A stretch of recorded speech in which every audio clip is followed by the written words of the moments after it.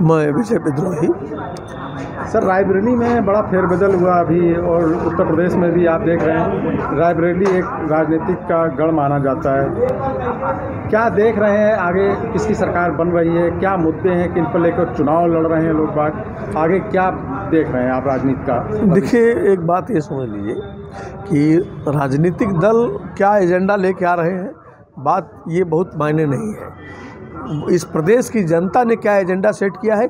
ये ये बात बहुत मायने है। एक बहुत घोर अलोकतांत्रिक जन विरोधी मेहनत कश विरोधी सरकार को उखाड़ के फेंकना है।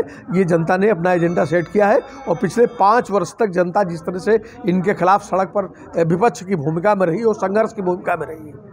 तो उससे बात जान लीजिए कि भाजपा के खिलाफ एक जनता का जो एक बहुत व्यापक हिस्सा है। वो किसान हैं, मजदूर हैं, नौजवान हैं, छात्र हैं वे सारे लोग लामबंद हैं और वे भाजपा को उखाड़ कर फेंकेंगे। एक घोर अलोकतांत्रिक और जनविरोधी सत्ता का अंत होने जा रहा है इस चुनाव में। अभी रायबरेली में बड़ी चर्चा है नेशनल लेवल पे भी खबर चल रही। कि डॉक्टर मनोज कुमार पांडे की जगह पर स्वामी प्रसाद मौर्य जी जो अभी आए हैं भाजपा छोड़ के सपा में, उनके बेटे को टिकट मिल रहा है। तो क्या लग रहा है ये जो, कहाँ से कौन, क्या चुनाव लड़ेगा, क्या भविष्य होगा इनका? ये देखिए, शासक वर्ग की राजनीति में ये सब होता रहता है, लोग आते रहते हैं, जाते रहते हैं। पाँच साल तक सब ठीक था, पाँच साल बाद चुनाव आया है, अभी ठीक नहीं है, अभी ये सब स्वाभाविक प्रक्रिया है अभी रायबरेली के अंदर भी चार साल, पाँच साल तक जो है कांग्रेस में रह कर के भी यहाँ सदर विधायक ने जो है अभी कहा कि भाई, हमको घुटन हो रही थी तो हम स्वच्छ वातावरण में आ गए हैं। तो ये सब तो चलता रहता है, ये अवसरवाद है। जनता के जो बुनियादी सवाल हैं, बात ये नहीं कौन आ रहा है और कौन जा रहा है। जनता के जो बुनियादी सवाल हैं, उनकी जो ज़रूरतें हैं, रोज़मर्रा की ज़िंदगी के जो सवाल हैं और इस देश के अंदर नागरिक अधिकारों की हिफाजत और इस देश के अंदर डेमोक्रेसी का जो सवाल है और संविधान को बचाने का जो सवाल है उस सवाल पर जो ताकतें कल भी संघर्ष के मैदान में रही हैं, वो ताकतें, उनका अपना एजेंडा सेट है। बाकी ये सब आना जाना ये सब स्वाभाविक प्रक्रिया है अभी। बहुत सारे लोग आएँगे। अभी अभी आप फिर देखेंगे दस दिन के अंदर कि बहुत जा रहे हैं बहुत आ रहे हैं। सत्ता भोगने के बाद मैं अफरोज आलम हूँ अखिल भारतीय किसान महासभा में हूँ। अभी विधानसभा के चुनाव हो गए हैं शुरू रायबरेली में। क्या देख रहे हैं उत्तर प्रदेश में लगातार आना जाना चालू हो गया है पार्टियों का? और आप किसान मोर्चे से जुड़े हुए रहे अभी भी हैं। किसानों का क्या रुख देख रहे हैं आपकी दर विधानसभा के चुनाव में? किसान के लिए तो जो भाजपा की सरकार है, वो पूरी तरीके से एक बहुत ही जो है, अपराधियों की तरीके से बर्ताव किसानों के साथ इस सरकार ने किया। एक साल से जो किसान आंदोलन चला, वो उस किसान आंदोलन ने बहुत सारी चीज़ों को तोड़ा है। वहाँ की जो कीलें उन्होंने लगाई, जो उन्होंने 700 लोगों की जानें ली, और जिस तरीके से इस कानून को लाए और लखीमपुर में जिस तरीके से किसानों को जो है गाड़ियों से रौन के मारा गया किसान ये कोई भी चीज़ भूला नहीं है। किसानों ने इनकी सरकार को झुकाया जीत के ज़रूर गया लेकिन बहुत सारे घाव लेकर अपने घरों को गया है जो इस सरकार ने दिए वीरेंद्र कुमार। आपकी विधानसभा का चुनाव चालू हो गया है। जी जी। क्या मुद्दों को लेकर आप इधर वोट कर रहे हैं? किस पार्टी का आप ज़्यादातर देख रहे हैं। भैया, देखो, हमारा कोई पार्टी विशेष मतलब नहीं ना।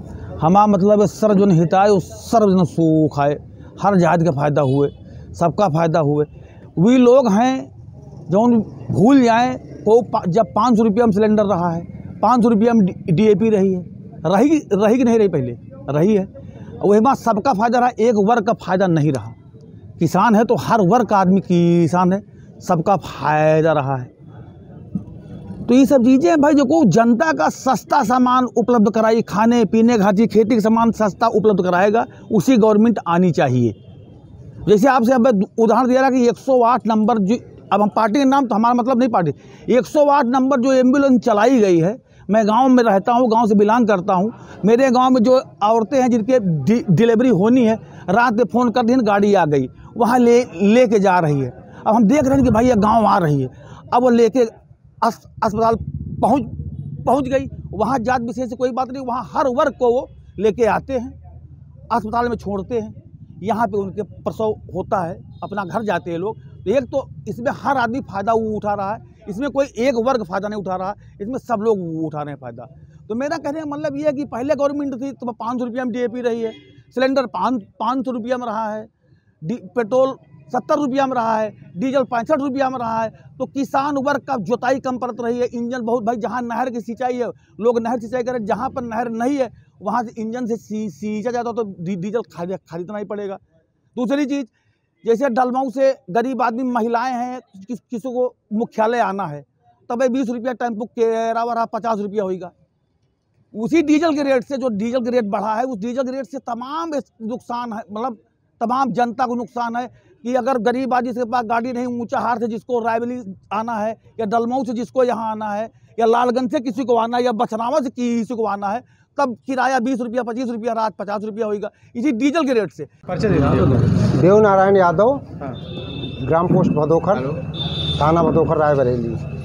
चुनाव आ गया है विधानसभा का। आप लोग ग्रामीण से संबंध रखते हैं। किसको क्या वोट दे रहे हैं किसकी सरकार बन रही है किन मुद्दों को लेकर वोट करेंगे अब किधर? हमारे यहाँ तो समाजवादी पार्टी की चर्चा चल रही है। कम से कम वहाँ दस बीस गाँव हैं। सब जगह यही चर्चा है कि समाजवादी पार्टी अब की बार सरकार बना रही है। परिचय दे दीजिए अपना। गिरजा शंकर तिवारी। कहाँ से आए ग्राम पूरे पांडे मजरे रायपुर महेरी। क्या किसकी सरकार बन रही है? किन मुद्दों को लेकर चुनाव करें? आपकी बार सपा की सरकार बनना तय क्योंकि, क्यों? हमारी सारी फ़सल, जानवर सारे चटे जा रहे हैं। मान लीजिए ये हमको राशन दे रहे हैं। ये हमको मान लीजिए दो हज़ार रुपये हमसे दस हज़ार ले लें। हमसे दस हज़ार ले लें। लेकिन ये जानवर की व्यवस्था करा दें। इनके हम दो हज़ार के भूखे नहीं। और क्या देखने को मिला है अब किधर जो आपने अब किधर समाजवादी पार्टी को सोच रहे हैं? क्या हाँ। है मतलब यह है कि किसा हम किसान हैं। हमारा जानवरों द्वारा बहुत ही अनहित हो रहा है। मान लीजिए ये दो हज़ार और ये इसमें ये वो दे करके हमको बलगला रहे हैं तो इससे क्या हाँ, हमारे घर में ये मान लीजिए राशन देते हैं।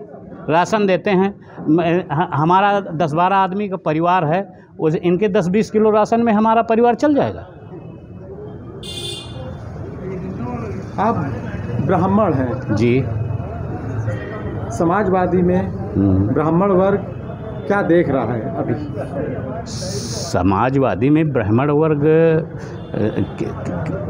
रहना ही भ- भलाई है।